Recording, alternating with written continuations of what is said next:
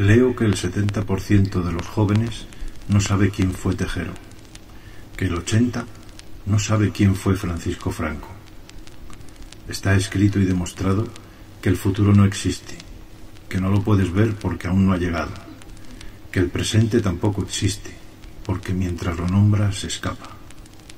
Que así pues, solo existe el pasado, eso que sí podemos ver y tocar y deja rastro, algo tan firme y real que no se conoce material más sólido sobre lo que edificar. Ahora imaginemos que un gran borrador de memorias pasa sobre nuestras cabezas. De repente, el dar un solo paso ya no tendría el menos sentido.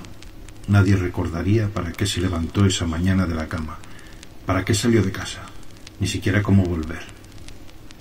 Somos lo que recordamos, más exactamente somos la impronta que marcan nuestros recuerdos. Así pues, sin ellos no somos nada. Somos páginas sueltas en blanco a merced del viento y del primer desalmado que las reescriba.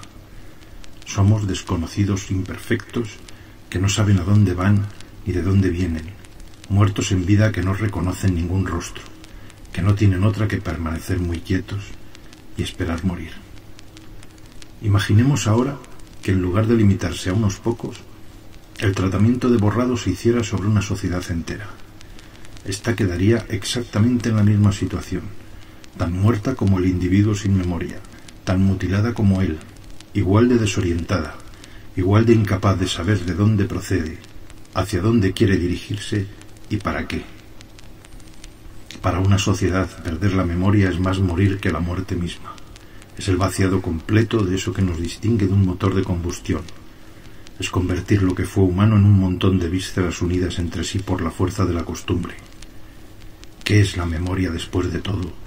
Sino la manera más real de decir, estoy vivo.